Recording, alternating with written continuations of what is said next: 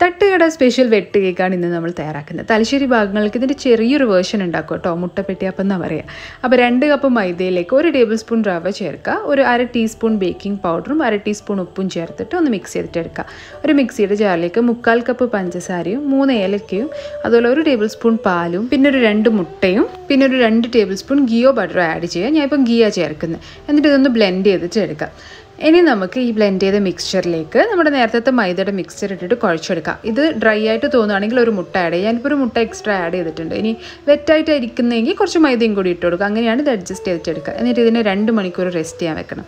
രണ്ട് മണിക്കൂർ റെസ്റ്റ് ചെയ്തിട്ടോ രണ്ടായിട്ട് ഡിവൈഡ് ചെയ്തിട്ട് ഒരു സിലിണ്ടർ ഷേപ്പിൽ ഉരുട്ടിയെടുക്കുക എന്നിട്ട് ഇതുപോലെ കട്ട് ചെയ്തിട്ട് എടുക്കണം. എന്നിട്ട് ഒരു വെട്ടിട്ട് കൊടുക്കുക. വെട്ടേക്കാണല്ലോ നിങ്ങൾക്ക് ഇഷ്ടമുള്ള ഷേപ്പ് ചെയ്യാം കേട്ടോ. ഇനി ഒരു മീഡിയം ഫ്ലെയിമിൽ വെച്ചിട്ട് ഫ്രൈ ചെയ്തിട്ട് എടുക്കുക. ഒരുപാട് ഹൈ ഫ്ലെയിമിൽ വെച്ച് അകം ഒന്നും വെന്ത് കിട്ടില്ല. അപ്പോൾ അത് ശ്രദ്ധിക്കുക. ഇതിങ്ങനെ പൂ പോലെ വിടർന്നു വരും. വളരെ ഈസിയാണ് എല്ലാവരും ട്രൈ ചെയ്ത് നോക്കാം കേട്ടോ. Thank for watching